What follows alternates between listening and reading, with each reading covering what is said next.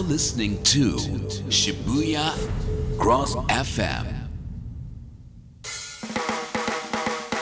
Swinging, swinging, swinging your feet.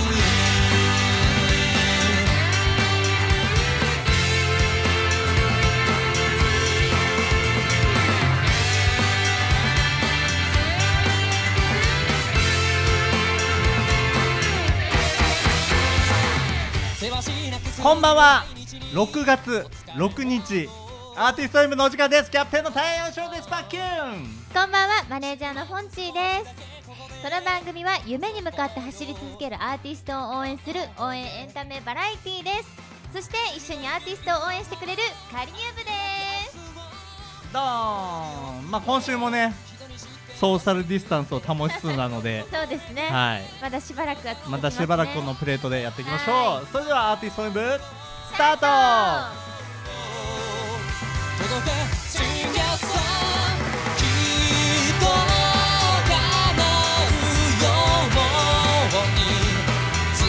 信じて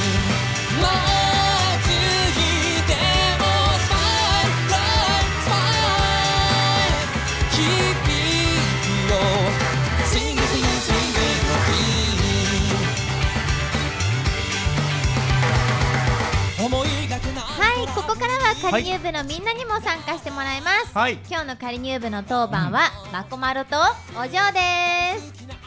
はい、カリニューブのマコマロとお嬢です。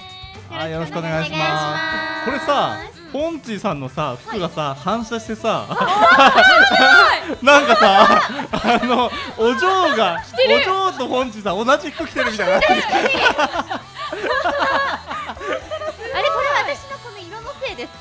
えどうなんだろうこれ。今までありまあでもなんかマコマラが俺の服着てるように本当だ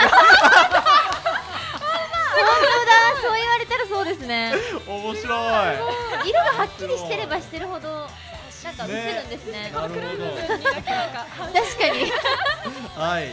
はいでは今日のテーマトークに行きたいと思います、はい。今日のテーマは習い事です、えー昔から6月6日は習い事を始めるのにいい日とされていまして楽器の日、えー邦楽の日生け花の日など、えーお稽古の日とされています、うんうんで6歳の6月6日になった理由としては諸説あるのですが、えー室町時代に能を大成させた世阿弥が記した「風刺家電」という能の理論書の中で数えで7歳つまり6歳の年に習い事を始めるのが最もいいと説明していて、えー歌舞伎の劇中「6歳の6月6日の」という、えー語呂のいいセリフ回しをすることがあり一般にも定着したという説が有力なようなんです。これみんな習い事でも6歳なんだね。なんかこう音楽とかだと3歳までにですよね。みたいな話なんかを覚えさせてるといいっていう。え結構みんな習い事はやってたのかな？ポンチーさんは？私ですか？一切やってないです。え やってないです。あえ一応ピアノをうん。なんとなく一年だけやってたんですけど、うん。うんなかったことにしてます。え あのなんかうん。周りがピアノいっぱいやってたんでやったはやったんですけど、なんか自分の意思でやったっていうよりはなんかむ無理やり行った感があったんで、ほぼ何も覚えず終わったんで、もうほぼ何もやってないみむしたろいな状態。習い事がない。えなかったですえでも周りはめっちゃやってましたよ。え塾とか？え私それこそあのクモンに憧れてたんですよ、はいはいはいはい。あるじゃないですか、うん。うんクモ。ンえクモン通ってみたいってお母さんに言ったら、うんうんうん。え授業料高いから無理。って言われて断られました。ちなみに僕はですねほぼ週7で習い事やってました7全く真逆ですね。僕はえっとサッカー公うん。文水泳クモン入ってる。えっと英語？英語？書道うんうんなどなど。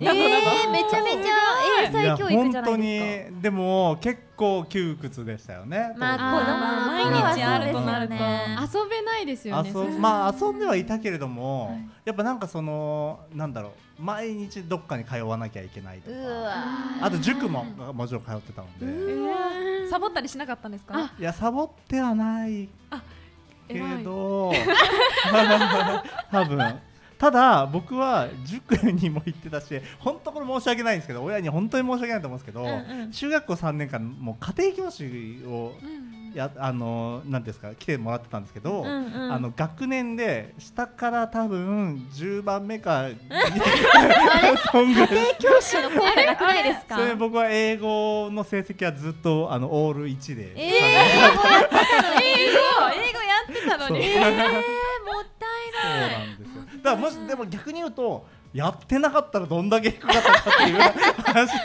やってそれですか？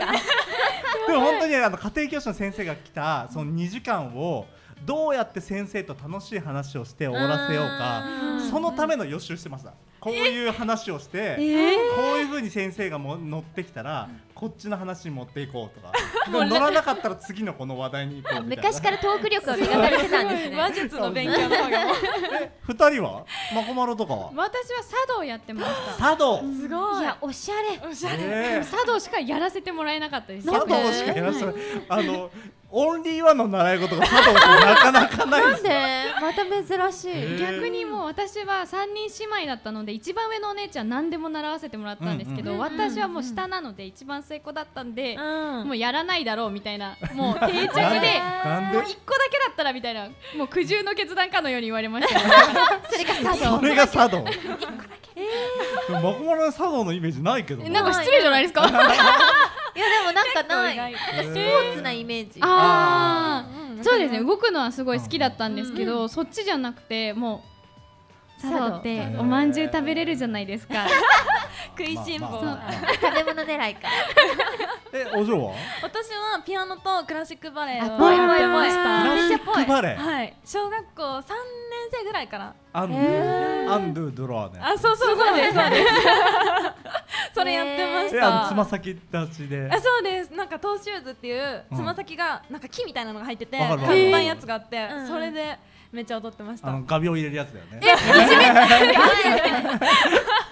で自分が習い事やってこなかったから、うんうんいつか子供ができたら子供にめっちゃ習い事やらせたいんですだから茶道を習わせるとまこまろみたいいなやいやいやいや。いやもうお手本じゃんああのクラシックバレエとピアノ、ま、あの習わせるとお嬢みたいな。じゃあじゃあお嬢タイプがいいな。どっちかといえばやっぱお嬢タイプかな というわけでねまあだから6歳の6月6日に習い事を習わせると最も効果的という言われているのでまあ今は習い事やってない子たちがいたらぜひともね親御さんはこれを機に6歳。うん。これを機に何か習い事を習わせてみてはいかがでしょうかという、はい。というわけで本日もタヤキャプテンと私フォンチそして仮入部の部員たちで本日お越しのゲストさんを応援していきたいと思います。番組の Facebook ページも皆さんぜひいいねをしてください。よろしくお願いします。では本日のゲスト紹介の前に1曲お聴きください。ミカさんで歩み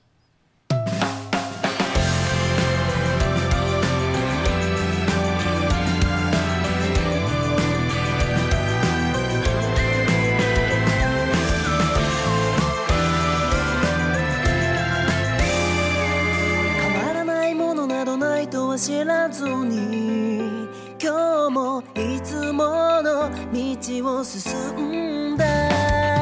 先は一本ではない。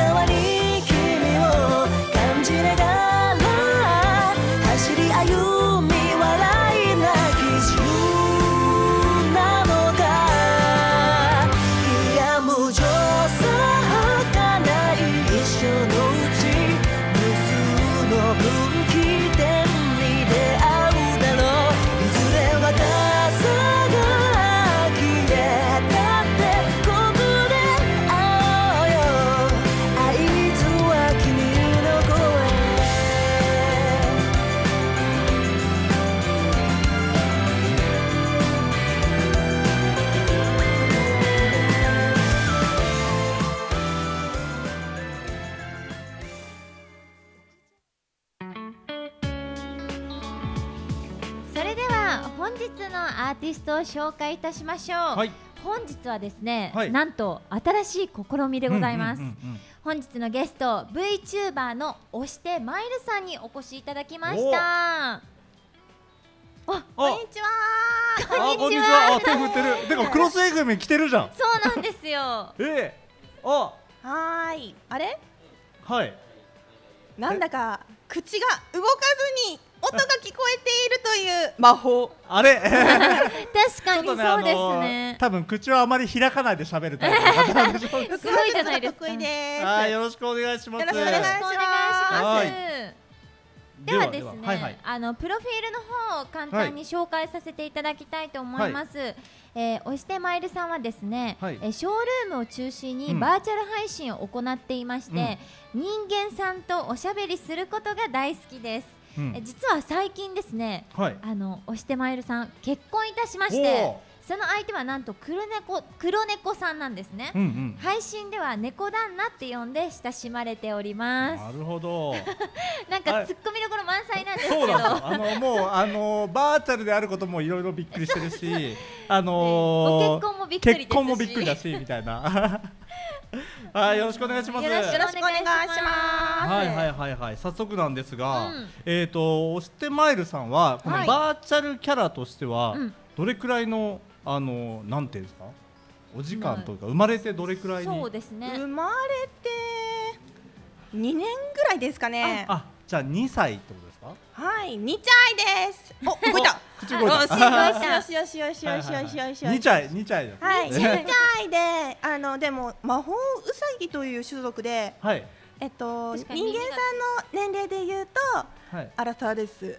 あ、そう、それ言っちゃっていいんですね。魔法ウサギとしては二年だけど、人間の年齢に換算すると、アラサーアラサー。私とほぼ同い年ってことですね。じゃ。あの、二なるほど。チャイ、二チャイの。はい2歳です。ってことは私もあのバーチャルの世界で言うと二チ2ャ歳イですね。だな。るほどね1.5チャイぐらいです、ね。な。るほ。どね。はいはいはいはい。そうですね。このまあな。んていうんですかこういうあのまあバーチャルそうですね。だからこの配信とかをしようと思ったきっかけとかっていうのはそうですよね。そうですね。単にあの暇な。のと人と喋りたいっていう なんかすごいその辺はリアリティを感じますね。あのバーチャルリアリティなので。あバーチャルリアリティなのね。なるほどなるほど。人間とおしゃべりするの大好きなんでね。はい、でですねもう本当ね突っ込みどころはいっぱいあるんですけどいっぱいありますずはこのマイルさんっていうのがどういう方かっていうのをねちょっといろいろ掘り下げていきたいなと思はいうわけなんですよ。はいそしてですねそのバーチャルのマイルさんなんですけどはい。尊敬する有名人は誰ですか？あ、気になる。なんかこう、あのー流れで言ったらね初音ミクさんとか、うんあ、そうですね。ナイバさんとかっていーチャルの世界くのかなと思ったら、うん。どなたでしたっけ？デビー夫人です。デヴィ夫人が まさかの。デヴィ夫人のチャレンジ精神がものすごい素敵だと。はいなるほど。いやーもうすごいですよねでもデヴィ夫人。いや私もあのテレビであの、うんうんよく見させていただいてるんですけど、うんうんあのご年齢で、はあの体の張り具合っていうのは、うんうんうん。恐ろしいですよ。いやですよね。うん、ね本当にあのポールダンスとか。いや本当に、えーあと崖から飛び降りたりとかする。そう。えーそうなんですよ。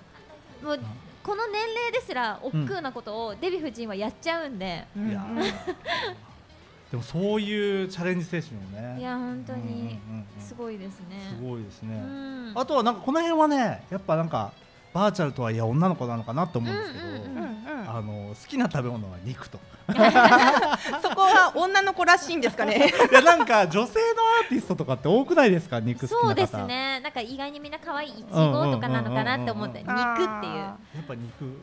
肉。しかもで牛きれば牛ステーキっていう。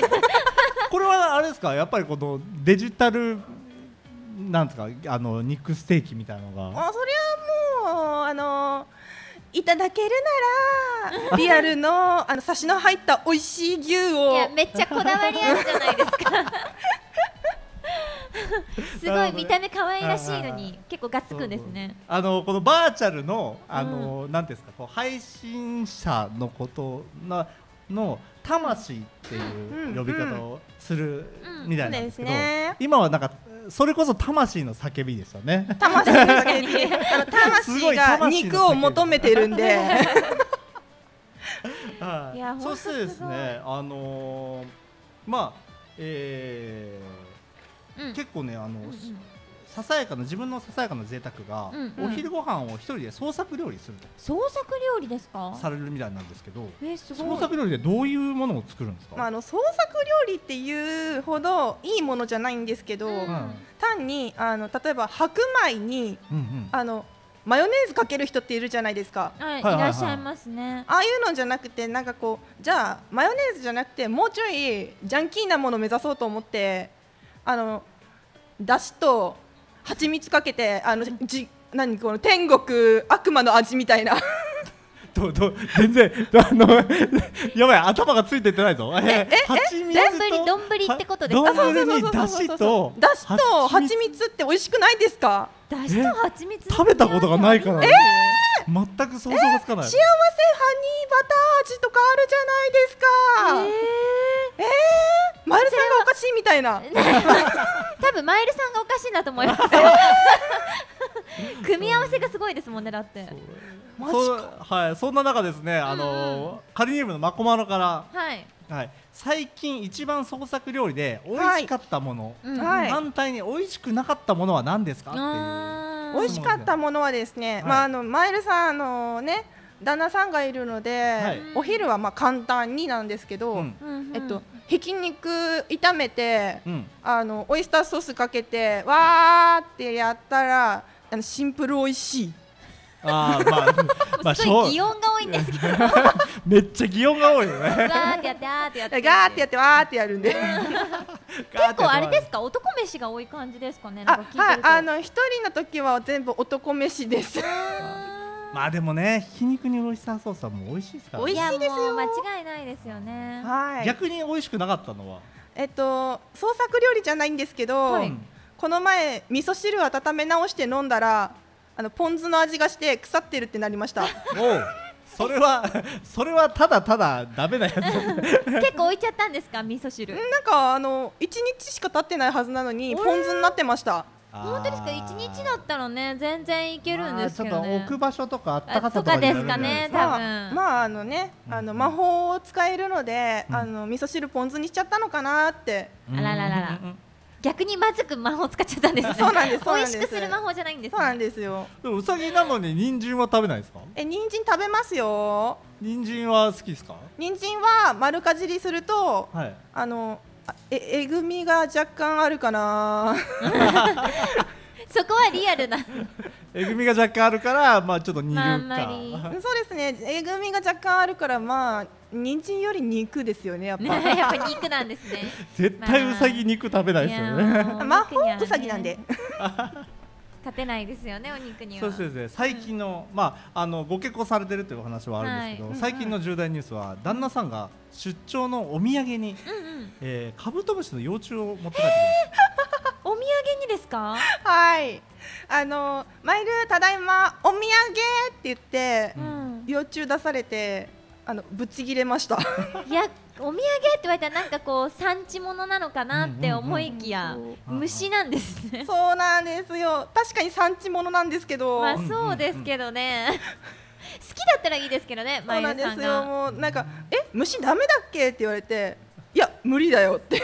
えー、すごいまあまあまあそんなねちょっと今お話にも出てきましたけど、はい前田さんはですねあの旦那さんとご結婚されたのが、はい今年に入ってからですよね。そうですね。今年の1月ですね。はい入籍がほ。やほやですねもねはい公表されてるんですけど、あの前田さんのこの、なんていうんですかねこうおって思うところが、うんこの旦那さんとの出会いがうんうん。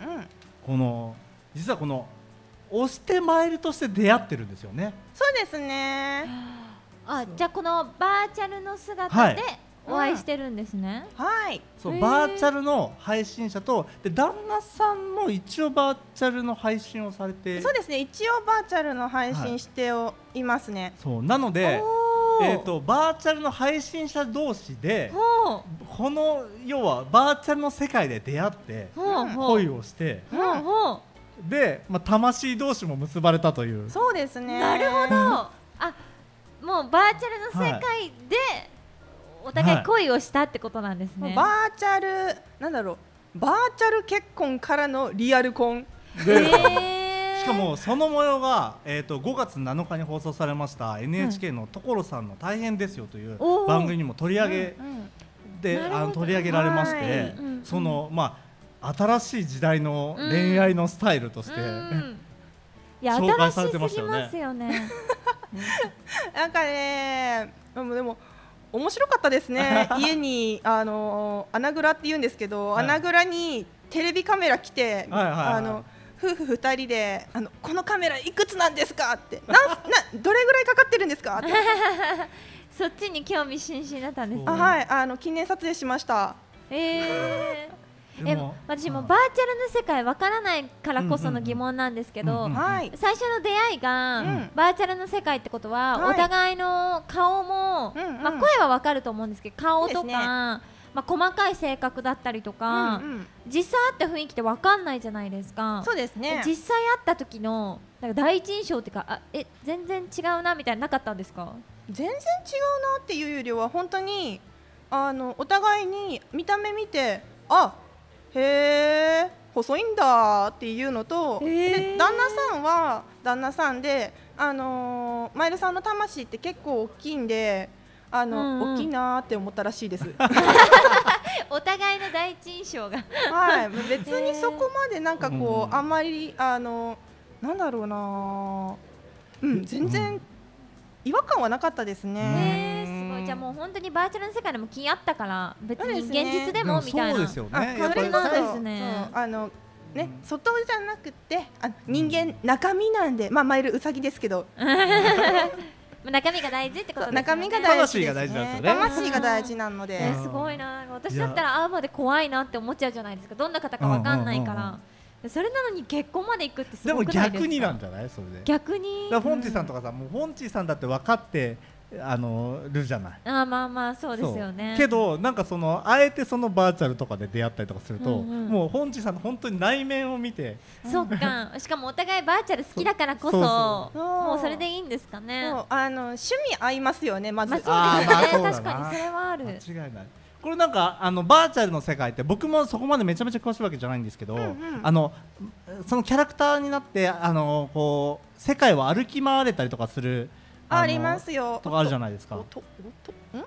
なんかそういうのでなんかこうバーチャルデートみたいなとかって。バーチャルデートはねちょっと難しかったんですよねその当時は。なので普通にあの電話してました。なるほど。はいへー。でもなんかこれからどんどんどんどん進化してったら本当なんか本当にこのキャラクターの状態でちょっと海行こうよみたいな。いやそううわすごいできますよ、うんうんうん。いっぱいあのそういうのあるんで。いやすごいもう全然知らない世界なんでもう全部新鮮なんですけめちゃめちゃだってポンチさん今日ずっと驚いてますよいや本ね当に。えもうこんなんあるんだ。こうやって動くんですねみたいな。ちょっと体験させてもらったんですけど。ちなみに前田さんちゃんとあのこのここにマリッジリングが？かえー、あ本当だ。マリッジリングあるんですよ。ちゃんとはい。指輪が。指輪あります。あるんですけど。えー、面白い、うん。うんはい。でですね、うん。ちょっとあのまあ気になるところというか、はい。実はその番組の中でもおっしゃられてたのが、えっ、と5月にうん。えっ、と結婚式を挙げる予定だったんですよね。あそうですね。予定でしたね。はい、うん。それがですねやっぱりちょっと今コロナの影響でね。うんまあ結構話題にもなってますけど、まああのちょっとまあ延長中止というそうですね形になって延る。期かつうん、あの実ははいはい。あれなんですよねバーチャルのお友達もリアルさんに来れる人はおいでって言ってたんですけど、はいはいはいはい、はい。それが呼べなくなっちゃって、そうですよね。うん、はいなのでバーチャル結婚式を今あの企画中ですバーチャル結婚式？はいバーチャルの世界で結婚式を挙げるってことですか？実そう際じゃなくて。ですそうです。電子の世界でえー、それはまたなんか新新しいですね。あのバーチャル空間にはい結婚式場ができるってことですよね、まず。はいそうです。あの私結構ものづくりが好きなので、はいはいはいはい。あの結婚式場建てますえ。えそんなこともできるんですか？できますよ。なんかあれなんですよ、あのー趣味で、まあアニメとか、うん。あのーが好きでオタク趣味でっていうのは言ってるんですけど、うんうんうん。3D モデリングおーはい。がもともと趣味でやられていて、っていうのがあるみたいなんでその要はだからそういう建物とかも自分で作っ分で作れちゃうんだ。からあれですよ。あのうわーここの結婚式場なんかすごい可愛いのに、うん抜けのあのビルが映るの嫌だなとかだったらもう消しちゃえばいいですもんね。そうなんですよね。自分でだからなんかうごいさぎのモチーフが欲しいとかね。ああめちゃめちゃ長い階段に、のうんを降りていきたいって言ったらもう作れるし。いやーすごいもそう夢夢の舞台を自分で作れるってことですですよね。よ。ねえでそれでなんかいろんな方に招待状を出してそうですそうです。来てくれる方に招待状を出して、あでも、えー来る人もえっ、とばあちゃんのキャラクターでそうですね。バーチャルのキャラクターか、まああのデフォルトっていうのもあるんでもちろん、はいはいはい、それで来ていただけたらなと思ってます。なるほど。えー、すごいなすごいなそんなのできちゃうんだでもなんか面白いですよね。なんかこう面白いですねいろんなだからあれですよね顔とかキャラクターの人たちがいっぱい集まって。はい。これはもう人型じゃなくてあの例えばあの本当のうさぎさんとかそういうのもできますよ。いやすごいな。もうだからその結婚式場がなんかうんもう宇宙とかも行けるわけですもんね。あできますできます。もう無限大ですねはい。バーチャルの世界でできないことないじゃないですかもう、うんうんあもうないですね。バーチャルはほぼ無限大の可能性を秘めているので。いやすごいいやな。すごいこれだからもうバーチャル結婚式だからああれは神父さんとかはどうする？神父さんね今悩んでるんですよね。皆さんちょっと誰かあのバーチャル神父を探してください。バーチャル神やっ父てくれるかな？誰か。でもなんかこの時代だからいそうですよね。いそうですよね。ねそういうのに対応してるうん方も。いそうんうんうんうんうん。いやーすごいうなこれちょっと夢が広がりますよね。どうどうです？バーチャル？いやなんかもう未知数すぎて もうついてくのに必死なんですけど私。いやもうあそういうのやったことないので。うんうんうんうんぜひぜひ来てください。こっちの世界に。いやじゃあなんかこっそり結婚式お邪魔していいですか？あどうぞ。あの一来てくだ回さい見てみたらねバーチャル作うんうんってどんな世界観なのだからあのかやっぱそういうふうに画面で、まあ、今回まゆりちゃんとかはうん。画面としてこう、はい。あの登場してもらってますけど、うん。今はあの 3D のあのこういうなんていうんですか VR ですか、うんうんとかもかぶったりとかするともう本当に目の前に、えー、とうそういうものがあるように見えたりとか、うんそうですね。うんうんいやすごな。いんかな VR ゲームセンターみたいなの流行ってるんじゃないですか遊園地みたいな、うんうん。ありますね。だからあれがもうそのまま結婚式になるってことですよね。そうですね。そんな感じでえっ、と VR 空間を、えースマホとかパソコンとかから来れるよっていう、そういうアプリを使うと思ってるので、あでもいいですね。そのあのえ遠方から呼ぶときにいろいろお金かかるじゃないですか。えそうですよねお金関係もかからないじゃないですかそうなんですよ。遠方からめっちゃ安く済みますよね。だからもうお金困ってる人はみんなバーチャルの世界に行けば全部解決ご祝儀でしますよねご祝儀？ご祝儀とかはご祝儀はあれご祝儀でよかったっけ？ご祝儀ですね。ああのお車代はかからないのがいいですよね。ご祝儀は振り込んでいただければ。ご祝儀あうんのあれであのクラウドファインディングするかもしれないんでその時にお願いします。あーあまあそうですね。それがある意味ご祝儀ですよね。そうですねいや面白いないやいやいや素晴らしいな。なんかなんかもう新しいですね時代新がし。すぎてすごすぎるでもなかなかこうねバーチャルのフィールドで結婚式とか挙げてる人もそう多くないですよね。そうですね。だからちょっとこう話題になりそうな感じがしいます。やなりますよ本当にぜひぜひバズりたい。いやバズ大丈夫ですか。りそうじゃないなんかいろんな人来ちゃってもう結婚式はちゃめちゃになって。あーそれはちょっとあれですね。あでもあれの。か管理者判断とかで強制退去とかもできるあのできると思いますよ。いやそれもできちゃうのか。えじゃあ私遊びに行けないじゃないですか？バレちゃったら。強強制強制強で制退去。あのご一報ください。行きましたって言って。なるほどなるほど。いはい。やーもうちょっとねいろいろ面白くて。だからもうあのねこれねあのー見てる方はうん。あの外から見てる方はなかなかわからないと思うんですけどはい。まゆみちゃんのこの後ろもうん。あの渋谷クロス FM のあのよく写真とか撮ってる場所そうでなんですすよよね。だからもう本当にすぐそこにまゆみちゃんが来てるんですよ、ね、遊びに来てるっていうは感じーい来てますですよ いやもうだからすごいですよ、ね、いやすごい。そのうちここにねフォンって映って座ってるようにいなる。や怖いですよね。れも。ぜひぜひそのねフォンって映るような時にまたあのバルチャにも来てもらいたいですね。ぜひぜひ。うんはい、はいちょっとね時間があっという間にどんどん過ぎてしまって。はい、うんそうなんですよ。もうお別れの時間が近づいてるはいんですまずが、あのーまあ告知等々あれば、はい。えっ、と告知なんですけれども、はいそうですね。えっ、とショールームではい、ちょっと待ってくださいね。カンペをくれ。カンペ、あカンペが用意されてるんですね。カンペなかったわ。あカンペはない。うんカンペないなった。はい。はい、えっ、と、はいショールームで私、はあの基本的に配信をしているんですけれども、はいはいはいはいえー6月11日から、うんあのガチイベと言われる、えー激戦区のイベントを頑張ります。おーなのでよければ皆さん応援しに来てください。おお願いしおます願いします。そしてそして、うんうん SNS や、えっ、とまあツイッターなどのそうです SNS ね、ツイや、ッターとか YouTube です、ね。YouTube もやられてて、えっ、と押してマイルはですね、えっ、と、押すあのオスに、はい押す押し上げの押すですね押し押し上げてください。はいと手ですね。はい、手です。はい。だからつ突っ張りってことですよね。はい、突っ張って、突っ張、はい突っ張りネキって言われたこともあるぐらいなんで、あの突っ張っていってください。押してマイルはひらがなです、ね。マイルはひらがなで、はい。だから押す押してマイルと検索していただければ、もうあの検索したら一番上にバッと出てきますので、はい、ぜひぜひ皆さなんので注目してぜひぜひお願いしもらえれます。ばなと思います。はい。じゃあそれでは最後にですね、はいえー視聴者の皆さんに、はいじゃあマイルさんの方から一言お願いします。はい、じゃあ、えー視聴者の皆さん、バーチャルはいいぞ。おいで、こっちのバーチャル世界へ。やばい誘われてるやばい誘われてますね。誘われてますね。いや本当にいや本当に引き込まれますよね。これでもね、あ僕は結構こういうの好きなんでいや入ったら好きですよね入ったら多分僕帰ってこれないいやそれはやめてください。僕ここで来週から画面になってるやめてくださいよちょっともう。はい本当に。はい、ということで本日は押してマイルさんにおお越しいただきましたありがとうございましたありがとうございました。お 最後にバーチャルの魔法を見せてしまいましたね。すごい。それではここで一曲お聴きください。カチイクサさんで SSR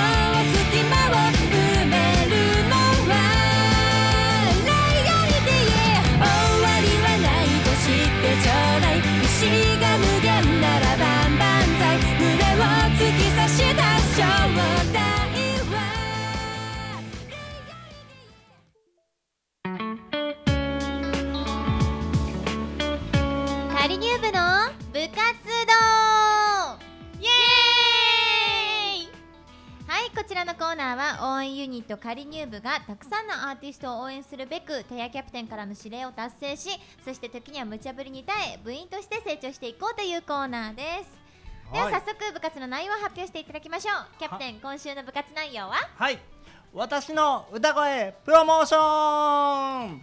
イエーイ はい今日出演しているまこまろとお嬢はシンガー志望なんですね、はい。でお二人はですね、うんうん。ショールームや YouTube などで歌を披露しているわけなんですが、うんうんうん。今回は二人には自分自身のプロモーターになっていただき第三者の目線から自分の歌声を自己プロモーションしていただこうというちょっと二人にとっては恥ずかしい内容の えでもねや企画になっております。やっぱりねこう自分でセールスポイント分かってないといけないからね。そうですよね、そうですよね。もう私たちの回一番難しいです。よ毎回。二人の時のハードルの高さ上がってましたから。ね ではでは、はいはい。はい。早速。いきますか？ますか、はい。どちらからいきますか、じゃあ私からいきますね。はい。えっと私の声のセールスキャッチコピーはダダン見えるかな？あダダン。タガメを砕くバリバリボイスです。はい。なんかかっこいいな。んか強めな感じですね。タガメを砕く？そうタガメをもう砕く。バリバリボイス。どういうなんかどういうことかはわからない。いや私ショールームでもうタガメを食べたんですよ。ああそうだよね。タガメを食べましてそこから私ってすごいあの声量がでかいんですよ。もう騒音並みにでかいのでもうそのバリバリマイクが言うぐらい うるさいので、っていうことでバリバリボイスになってますね、マイクの中にタガメがまだ残ってるわけじゃなあくて、残ってないです 残ってないです。それはさすがに。で確かに私はマコマロの曲聞いたことあるんですよ、はいはいはいはい。YouTube で。結構強めでかっこよかったです。そうなんですよ、うんもう。ちょっとでもあれだよね、なんか日頃はなんかちょっとこんなコミカルな、コミカル。コミカルな感じだけど。結構ね歌う歌うと結構そう。全然印象変わりました、はい、めちゃめちゃもう強いので、なんか逆に繊細な曲とかまだ皆さんにあんまり見せてないんですけれども、できたらいいなと思ってるんですけど。チャラさんとか。ねあ優しい曲。あ優しい気持ちどうしましょう？それバリバリ言っちゃったら。ー 全然印象変わんないって変わらない。できないっていうことになります。困っちゃいますね。ははい。い、そしてですね私のお箱の曲が「くちばしにチェリー」というエゴラッピンさんの曲になります、これは。はい。あの椎名林檎さんもカバーしてるそうです。曲はい。ジャズっぽい曲なんですけど。僕もすごい好きです。エゴラッピンさんはすごいかっこいいめちゃくちゃかっこよくてあの、低いもうめちゃめちゃ低い低音を出すうん歌なんですけど、うん。なんかそこはもう高いところまでうん。出す曲でめちゃめちゃその表現するのが私自身も好きですし、うん。それが一番お箱になってます、はい。そして今後チャレンジしたいジャンルは、うん。フィンランドの民謡とかえやってみ意たいな外なとこ行くね。なんかあのフィンランド民なんかいなんか普通演歌とか洋楽とかってなんかもうなんとなくやったことあるんですよ。なんとなく触り程度に、うんうんうんなんかあんまりしっくりこなくて、なんか最近ちょっとなんか民謡やってみたいなって思った時に、はいはいはい。その海外の民謡が面白いなと思って、でフィンランドのやつをやってる方を見た時にめちゃめちゃ面白いなと思って。なんかヨーレヨーレみたいな。そんな感じです、そんな感じのとか。そういうそっち系か。なんか BGM っぽいのが作れそうだなって思ってそうあのやってみたいなと思います。南アフリカ。白そう。あブンブンブン。あらみたいな。いやもうどこ目指していくのってなりますよねマコマロ山奥とかで山奥急にねようこそって言いますなるほどね。えー、面はい。というバコマラはそういう感じですね、はい。続いてお嬢は。はい、私結構真面目に考えてきましお。た。キャッチコピーは心の奥まで浸透する心の奥まで浸透する透明な歌声であなたの心のダメージ補修。おおまたちょっとマコマロとは違う。シャンプーみたいな。髪の毛サラサラだしダメージケアみたいな感じで。声でも声でもダメージ補修してくれる。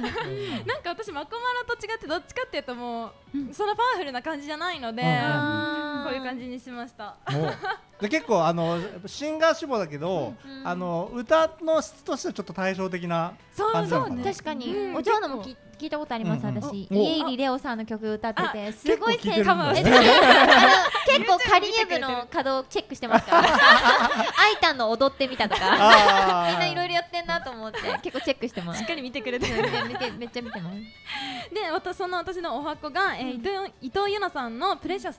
あなんかすごい想像できる。絶対似合う。めちゃくちゃ練習しました。しかもめっちゃ難しくない？難しいです。音域もすごい広くて、うんうんうんうんでシンガー目指そうって思った時にめちゃくちゃ練習しました、ねやなんか確かに本当対照的ですね、うんとは。うんまた。確かに全然違うかも、うん。で今後挑戦したい曲は私ボカロ系とか結構好きで、はいはいはい。聞くんですけど、うん。なかなか自分がうまく歌えないので、うん。歌えるようになりたいなって思ってます、えー、なんかアーティストで言うとヨルシカさんとかあー最近の有名なあの夜遊びさんとか、うんうんうんうん。そういうなんかリズムがとかなんか音の飛びとかがすごかったりするのをうんうん。歌いこなしたいって思ってます。すごい。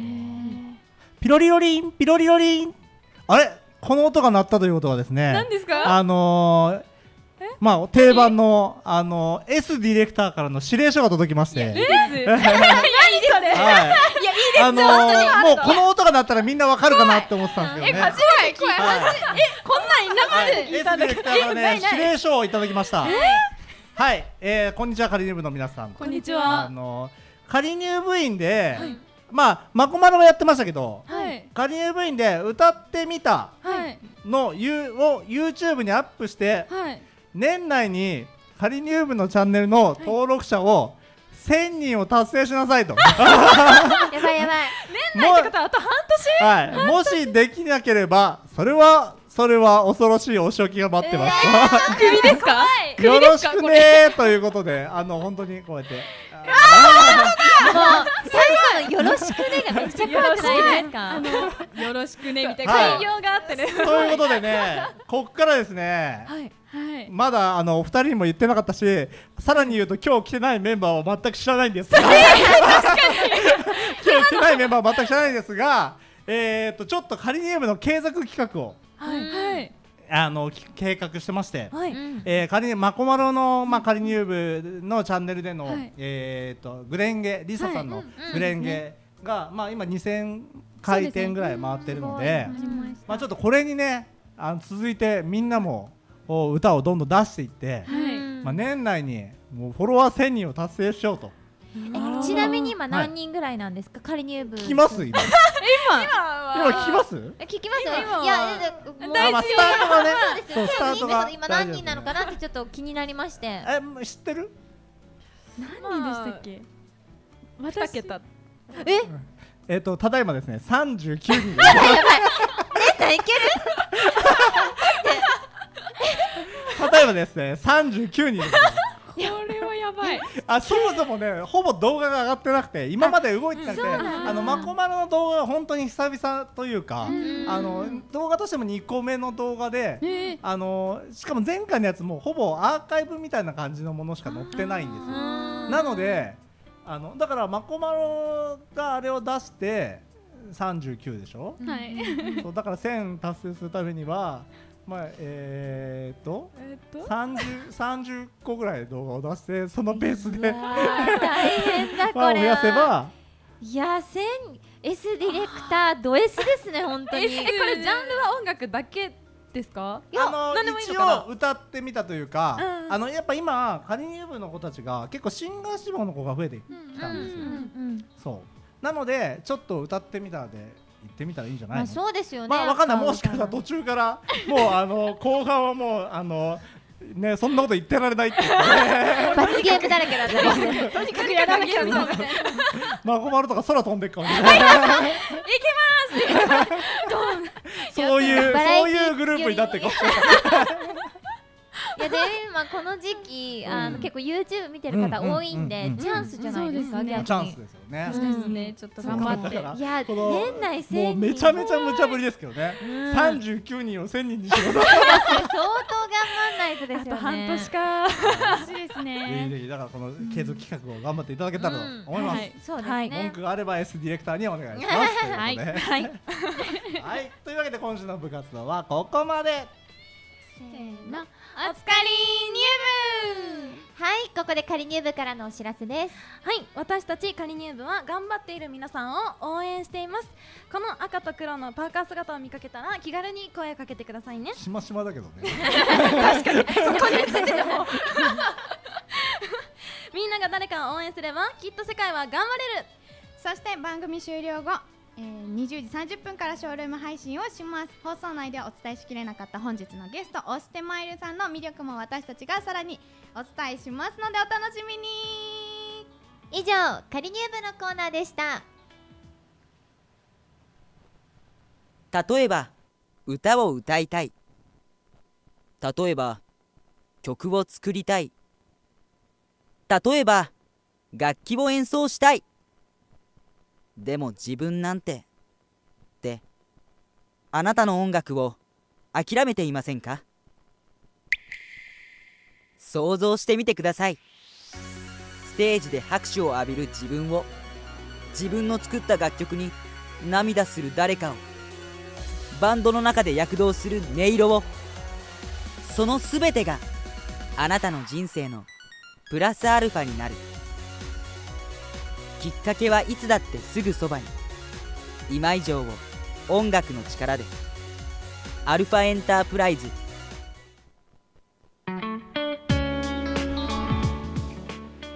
はいというわけで番組もエンディングです。ここで番組からのお知らせです、はい。アーティスト応援部では番組に出演したいアーティストを募集しております。お家で聴いているあなたもお家で聴いているあなたも次戦多戦は問いません。応援したいアーティストがいればどしどし番組にご応募くださいエントリーは番組ホームページからアーティスト応援部もしくは a-ouenbu.com で検索してください。よろしくお願いしはい、よろましくお願いします。さてさて、はい。今日新たな試みでしたけど。すいや本当に。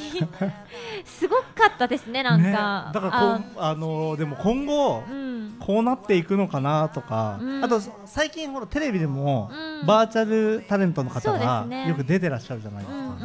うんうんだからこういう感じなのかなって思う。いやなんか今まではうんなんかそういうテレビとかでは見たことあったんですけど、なんかこうあのこう対面することってなかったじゃないですか。ないですねうんあのこうゲストさんでいらしてくださったりとか、話す機会って。うんうんうん。なんかすっごい今うんうんうん日前半の30分ぐらいがすごい不思議な 不思議ななんか感覚でずっと 誰誰と喋ってんだろうみたいな なんかうまくアクセルが。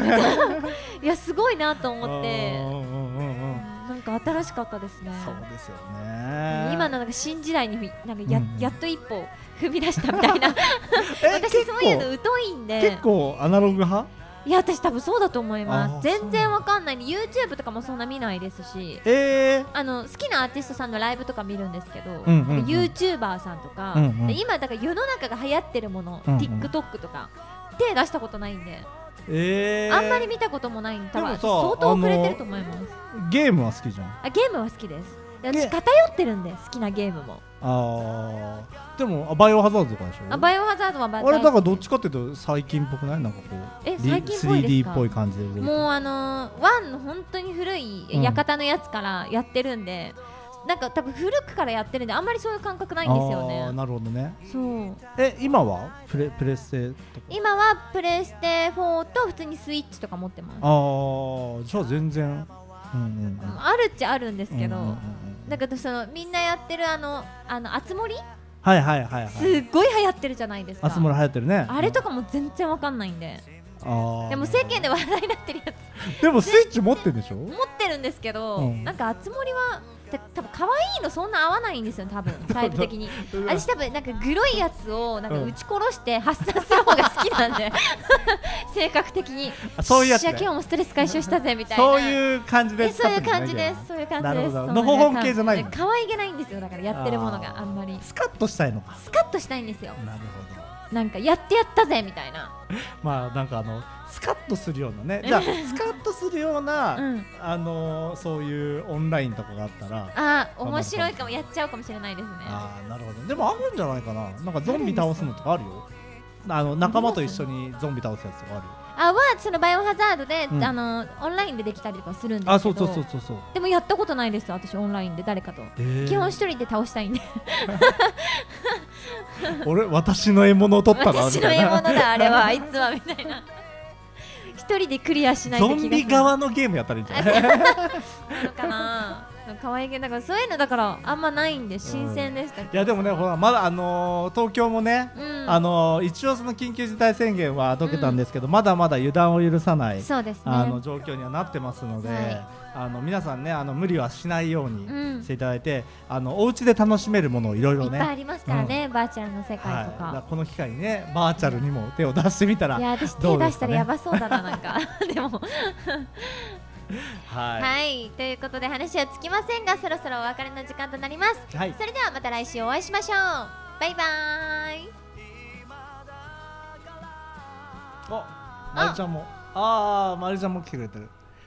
いくつかの季節が過ぎて出会いと別れを繰り返してすれ違う人波に流されそうになったけどでもここで